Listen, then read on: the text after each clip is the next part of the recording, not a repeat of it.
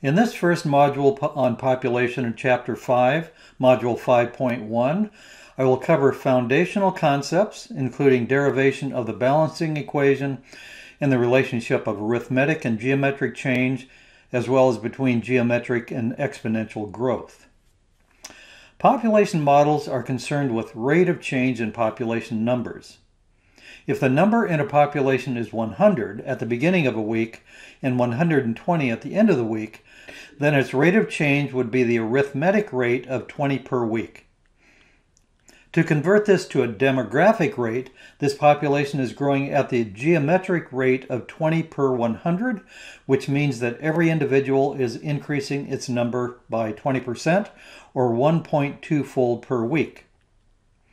The arithmetic rate, denoted r star, is given by the model r star equal the number at time t plus 1 minus number at time t, which when rearranged equals the number at time t plus 1 equal the number at time t uh, plus r star. The demographic rate, denoted r, is given by the model r equal the number of time uh, t plus 1 minus the number of time t all over the number of time t. When rearranged, this uh, equals number of time t plus 1 equal the number of time t times 1 plus r. Projections of these rates yield different results. Arithmetically, a population of 1,000 individuals growing at 250 individuals per year will have grown by 500 at the end of two years and by 750 by the end of three years. Geometrically, a population growing at 25% per year will have grown by 562 in two years and 953 in three years. Note that the arithmetic series will have a common difference between numbers. For example, 1, 3, 5, 7, and 9 is an arith arithmetic series with a difference of 2. And the geometric series will have a common ratio. For example, the series 1, 3, 9, 27, and 81 is a geometric series with a common ratio of 3. Population growth rate involves geometric growth in discrete time as well as in exponential growth in continuous time. Balancing equation. The simplest population model is the crude rate model that relates the total population this year to the total population last year. This is based on the balancing equation, where if we let last year represent the initial population at time zero, denoted population zero, then the balancing equation is given as population at time one equal to population at time zero, plus births, minus deaths, plus in-migrants, minus out-migrants. Assuming that the population is closed to migration and therefore excluding in and out migration, we can define the following. Births equal population at time 0 times B. Deaths equal population at time 0 times D, where B and D denote the per capita birth and death rates respectively. Therefore, we have population at time 1 equal the population at time 0 plus the population at time 0 times B minus the population at time 0 times d equals the population at time 0 times 1 plus b minus d. Note that if b minus d equals 0, the population is at replacement. If b is greater than d, the population is increasing, and if b is less than d, the population is decreasing. Now, the population at time 2, that is t equal 2, or population at time 2, is population at time 2 equal the population at time 1 times 1 plus b minus d. So this can be expressed as population at time 0 times 1 plus b minus d times 1 plus b minus d.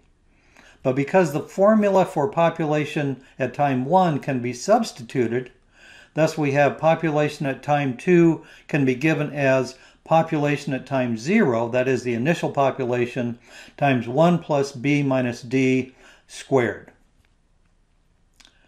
The relationship for t number of time units is population at time t equal the initial population, that is a population at time 0, times 1 plus b minus d to the tth power.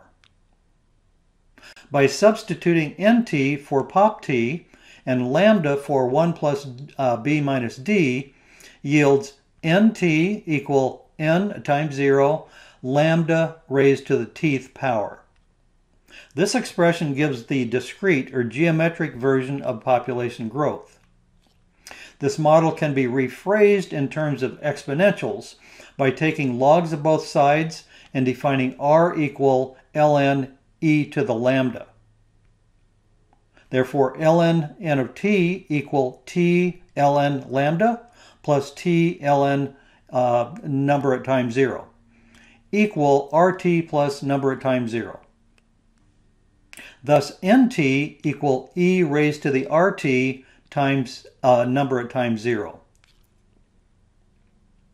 Note the numerical relationship between geometric and exponential growth. Has two parts. First, at low r values, e to the tth power equal 1 plus r. Second, geometric and exponential growths are interrelated as number at time t equal e to the rt, that's exponential growth. Then ln nt equal rt.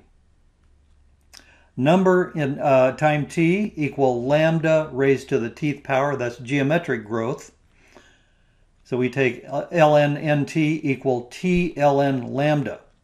Thus we have ln nt equal ln nt. The first in continuous time, the second in discrete time.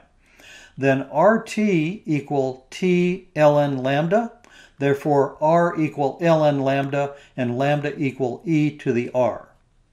In other words, the geometric rate of population increase equals the exponent e raised to the rth power. There are a number of assumptions of the crude rate model or balancing equation, including one, the population is homogeneous, that is, it has no age structure. Two, that birth and death rates are fixed. And three, the population is closed to migration. Whereas some of these assumptions may be limiting, this model has provided a foundation for the development of more complicated models, as will be described in subsequent modules. This ends this first module of Chapter 5 on population.